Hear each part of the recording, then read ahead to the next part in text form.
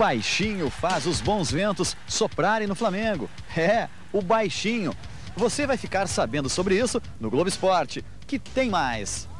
Fórmula 1, Libertadores e os preparativos para o troféu ibero-americano de atletismo.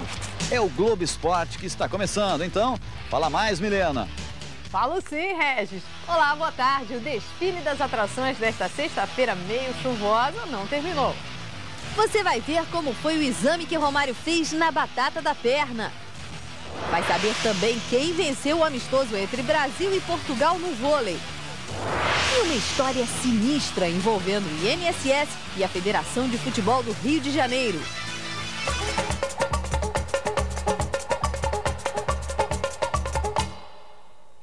Reino do Flamengo de Atirson não há nem rei, nem príncipe, como na corte do Vasco. Em compensação, tem uma rainha.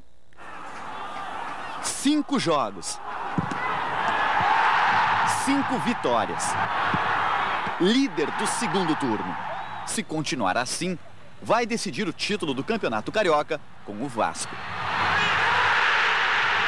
Os bons ventos estão com o Flamengo.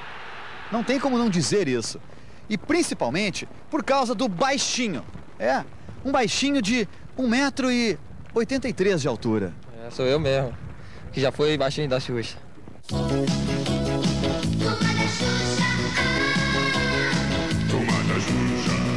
Assistia todos os desenhos, assistia o programa dela, uns 15 anos.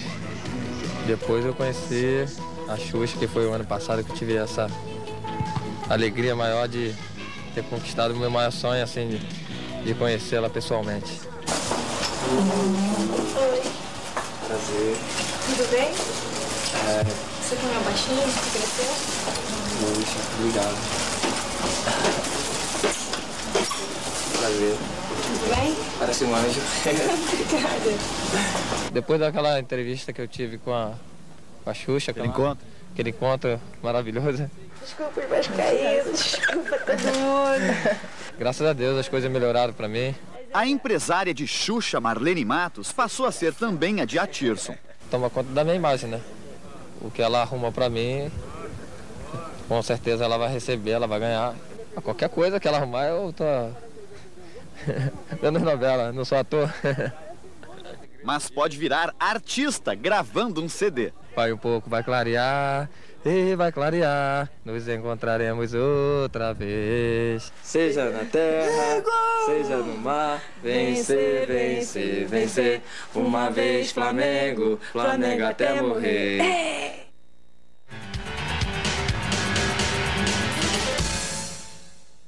Em Nova Friburgo, Friburguense e Botafogo. Misso cruza e Donizete chuta de primeira, Botafogo 1 a 0. Segundo tempo, Pintinho bate falta. O goleiro Paulo Sérgio falha e no rebote Max empata para o Friburguense. A virada veio em seguida. Depois do escanteio, o zagueiro Cadão completa de cabeça, 2 a 1. O Botafogo empata. Reidner chuta e o goleiro Zé Romário aceita, 2 a 2. Mas o friburguense chega à vitória. Pintinho bate falta e Paulo Sérgio se atrapalha mais uma vez. Final Friburguense 3, Botafogo 2. Magnus Norman no caminho de Gustavo Kirten. Guga enfrenta o sueco daqui a pouco pelas quartas de final do torneio de Hamburgo. Norman é um tenista que derrotou o brasileiro domingo passado na final do torneio de Roma. Já já, as emoções da Taça Libertadores. E ainda, no Recife, o esporte conhecido como Leão da Ilha contrata o mais leão dos técnicos brasileiros.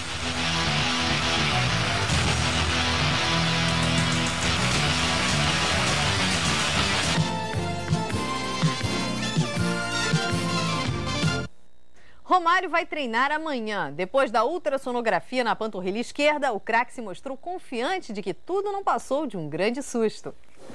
Romário deixou a sala onde fez a ultrassonografia, acompanhado do fisioterapeuta. Caminhando normalmente, com um discurso animado, o jogador disse que espera estar em condições de jogo já no domingo, quando o Vasco enfrenta o Fluminense pela sexta rodada da Taça Rio. O baixinho acredita que estará em forma para os amistosos da seleção. São duas coisas importantes, são dois objetivos que eu tenho e, em princípio, é, nada vai, vai me tirar disso. Se hoje é, tivesse que jogar, eu poderia te afirmar que eu jogaria. O esporte estreia um novo técnico amanhã contra o Central. O clube contratou um leão para comandar o time no terceiro turno. Ele é o rei dos animais, é o símbolo do esporte e agora é também o novo técnico do clube. Leão, 50 anos, tem fama de disciplinador e polêmico.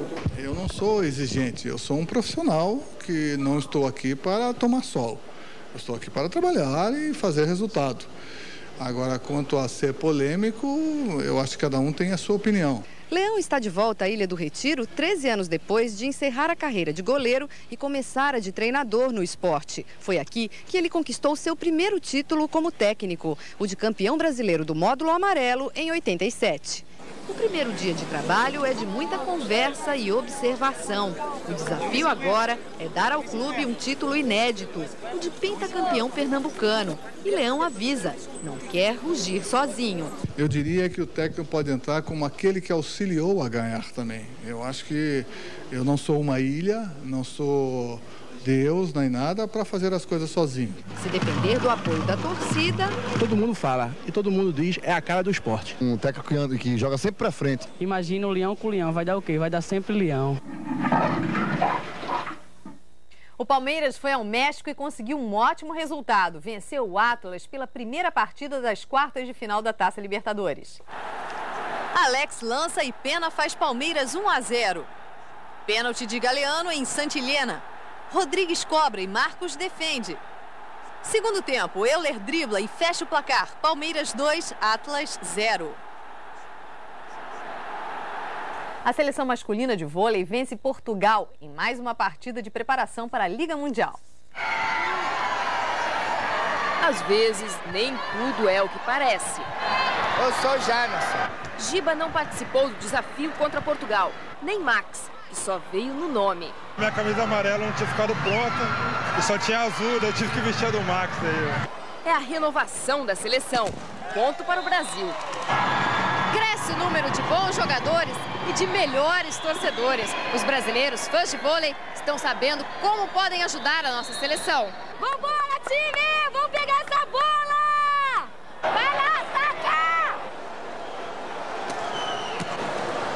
Brasil arrasa Portugal nos dois primeiros sets. 25 a 21, 25 a 19.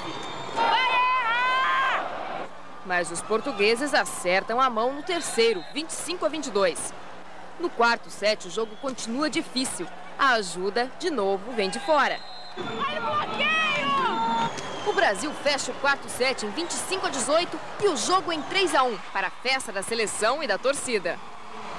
Duas coisas emocionam todos nós antes do jogo, quando a torcida canta o hino junto.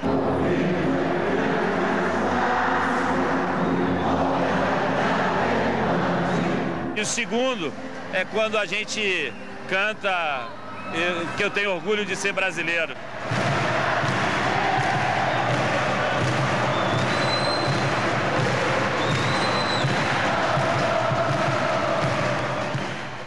Muito orgulho, né?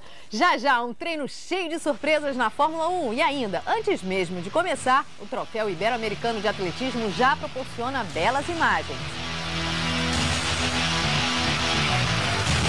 As garotas do programa vêm batendo um bolão. É tua mulher! Tá na maternidade, teu filho vai nascer! Não, pede pra esperar um instantinho, a gente tá virando o jogo, pede pra esperar um instantinho. Hoje, depois do Globo Repórter, garotas do programa. Fórmula 1 2000, oferecimento Banco Real. Cerveja Antártica Pilsen. Ipiranga.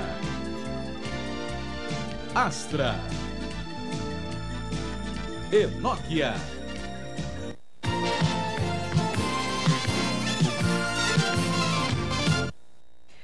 Fiscais do INSS começaram ontem a investigar a renda dos Jogos Cariocas. Eles vieram de Brasília para visitar a Federação de Futebol do Rio.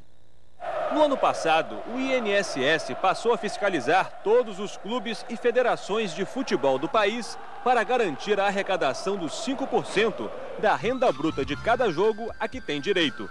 Em todas as federações, o INSS teve acesso aos documentos, à exceção de uma, a do Rio de Janeiro. Aqui a renda não é mais divulgada após os jogos, apenas o público. A federação alega que as promoções feitas por várias empresas dificultam apurar qual a renda exata. Mas há outro problema. O fiscal do INSS que veio até a federação disse a colegas que foi ameaçado fisicamente e que não pôde ter acesso aos borderosos dos jogos do Campeonato Carioca. José Ribeiro está com medo e tem ordem dos superiores para não falar. Ele foi várias vezes à federação e em nenhuma foi recebido pelo presidente Eduardo Viana. Pode investigar quantas vezes quiserem, aliás, tem o direito de fazer quantas vezes o quiserem. Mas a investigação, no caso, é de borderô e de incidência de débito de clube, não é da federação. Mas, de qualquer maneira, nós não sonegamos informações de forma nenhuma, até porque não adianta. Esses documentos são públicos. Não teve nenhum fiscal do ISS. Agora, não posso saber se, se teve algum diretor que tenha tido entendimento com o fiscal em outro local. Aqui não teve. Na quarta-feira, José Ribeiro se reuniu com outros fiscais e com Sérgio Falcão, chefe da comissão que investiga entidades esportivas. Ele veio de Brasília para resolver o caso. Ontem, os fiscais voltaram à federação, que desta vez abriu as portas, depois de o INSS ameaçar recorrer à Polícia Federal. Mas, inexplicavelmente, José Ribeiro foi barrado. Conversando informalmente com nossa reportagem, ele não negou que a federação tenha obstruído o trabalho. Só depois de meia hora de reunião, Ribeiro é chamado. Gentileza, quem é seu Ribeiro? Eu. Os fiscais ficaram uma hora e meia com Eduardo Viana. Na saída, o chefe da comissão não quis gravar entrevista. Por que, que o senhor teve que vir de Brasília para fazer o trabalho? Dá licença. Eduardo Viana se recusou a receber a reportagem depois da reunião com os fiscais.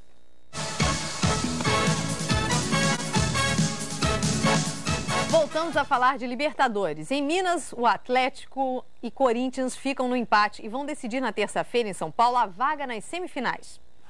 A Lua, dona das marés, é a regente do espetáculo. E 56 mil torcedores entram na onda. Embaixo, a maré de Cleison é violenta. É uma falta de educação, antes de mais nada, Desrespeito, né? O Atlético reclama de um pênalti não marcado. Que ele foi calçado. E o Corinthians passa por momentos de tormenta, enquanto brilha a estrela do goleiro Dida. Vem o Ramon, bateu pro gol, Dida! Uma defesa milagrosa de Dida!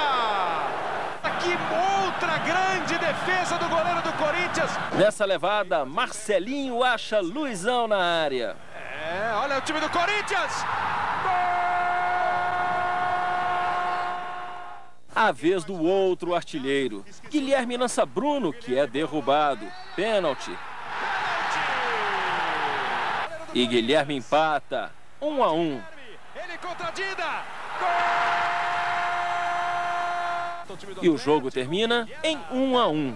Graças a Deus consegui ajudar a minha equipe. Né? A gente sai sempre contente quando isso acontece, mas todo mundo se ajudou bastante para que o Corinthians saísse daqui com um ponto. Neste fim de semana tem velocidade na tela da Globo. Grande Prêmio da Europa de Fórmula 1. Direto de Nürburgring, a sexta etapa do Mundial.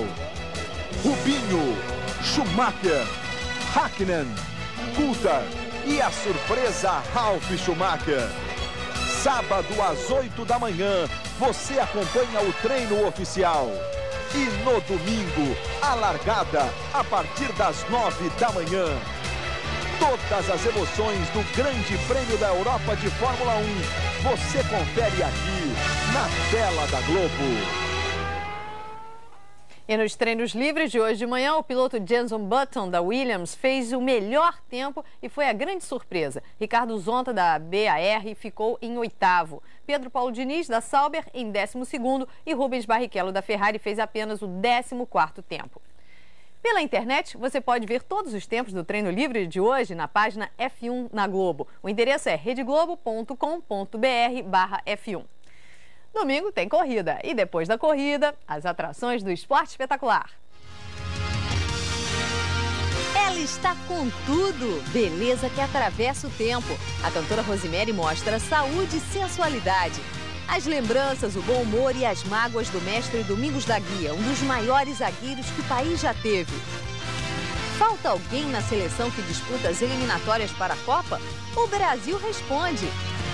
E duas visitas muito especiais. Nós vamos ao interior de São Paulo conhecer a cidade natal do lateral Roberto Carlos. E em Santos, uma casa bem decorada, arrumadinha. É a cobertura onde Caio leva uma doce vida. Não perca o esporte espetacular deste domingo, a partir das nove da manhã.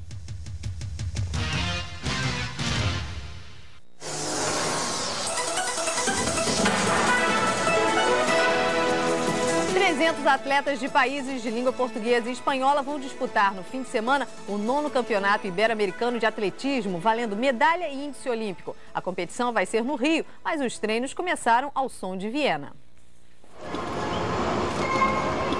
O ritmo da pista é este.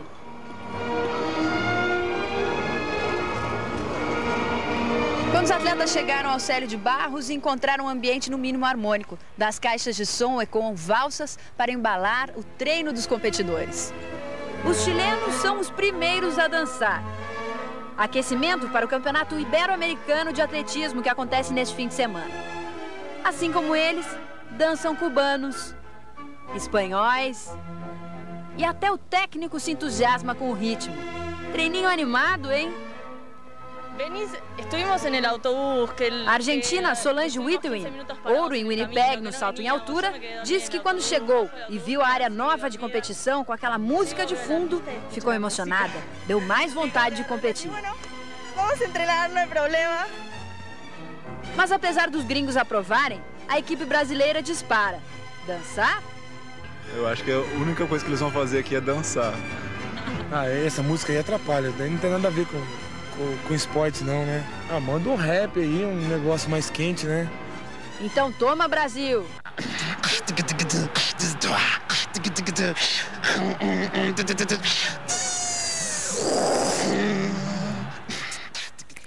Antes de disparar pelas raias do Célio de Barros, os atletas fazem um minucioso trabalho de aquecimento e preparação. As lentes do Globo Esporte captaram de forma sutil este momento.